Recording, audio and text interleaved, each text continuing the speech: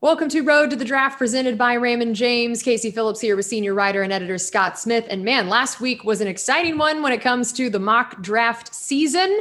A couple big trades up there at the top of the first round. So tell me a little bit about what those do, particularly for that first half of the draft.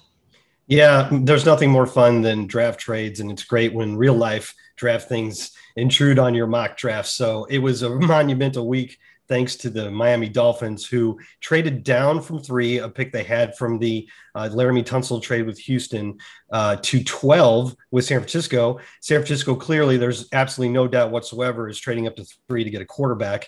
And then Miami obviously had both of these trades planned out in advance, traded back up to six with Philadelphia, which tells most of us probably that Philadelphia is not looking for a quarterback and will roll with Jalen Hurts this year. And Miami probably moving back up to make sure it can get one of the premier playmakers like Ja'Marr Chase or Kyle Pitts or Jaylen Waddle. So, um, what that did in my mind, I think it's going to be a, like 2016 when the Rams first traded up for Jared Goff for the first pick, and then the Eagles traded up for the second pick, and all this happened well before draft day. I am of the opinion that after the uh, 49ers pulled the trigger early to move up to three. Some other team that wants to make sure it gets the fourth quarterback is going to trade up to probably number four with Atlanta. So I think you're going to see for the first time ever four quarterbacks go in the first four picks, and we're talking about Trevor Lawrence, Zach Wilson, Trey Lance, Mac Jones, Justin Fields in some order, and probably all five of those guys in maybe the top 10.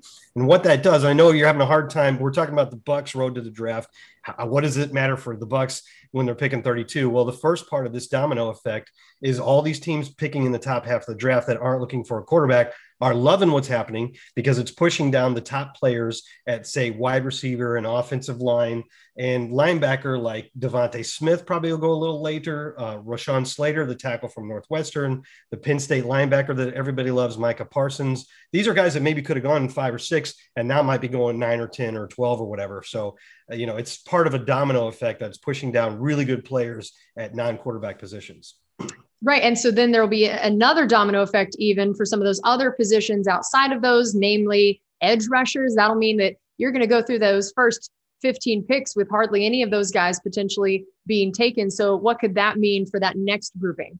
That's exactly right, Casey. I think that the all those quarterbacks going and then the top prospects at receiver and offensive line are probably going to make it so your edge rushers, which there isn't a lot of consensus on right now as to what order they're going to go in, but it does make it more likely that they will they will be pushed down into the second half of the draft and maybe even far enough down for the Buccaneers to get a crack at one of them that in some years would go 21 or 24 or 25, something like that. You know, I'm talking about guys like Georgia's Azeez Ojulari, um, the two guys from Miami, Jaelan Phillips and Gregory Rousseau. Uh, there's not a lot of consensus. I've certainly seen mock drafts and done mock drafts where Gregory Rousseau is in the top 20, and I've seen him where he lasts to the Buccaneers at 32. And I think that's the effect we're seeing of these quarterbacks pushing everything down.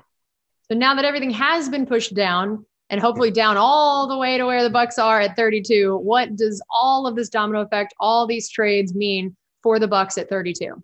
Well, I'm not sure. I'm trying to make a case for it meaning something, but I'm not sure how much it means because uh, I still think, and Bruce Arians really sort of uh, stressed this earlier this week, that the Buccaneers are in the position to take the best player available. And it could be at a position that you and I don't necessarily identify as a huge need right now. But if the value is there because these guys are getting pushed down, uh, it could happen. Like, let's, for instance, Virginia Tech cornerback, cornerback Caleb Farley he was going 11 or 12 in a lot of mock drafts that I saw early on, but he's dropping a little bit because of some injury concerns. And that's a very talented player that maybe could make it to the end of 32. I talked uh, earlier this week about Kadarius Toney, the wide receiver from Florida, who could also help you as a return man. Maybe that's a guy the Bucs could be interested in. And really, to get back to our mock draft roots from three or four weeks ago, uh, there's probably going to be a pretty good defensive lineman that the Buccaneers could use help depth there, like Washington's Levi Onwuzurike. So um, there's still a lot of possibilities, but I, I do think it looks pretty favorable for the Buccaneers.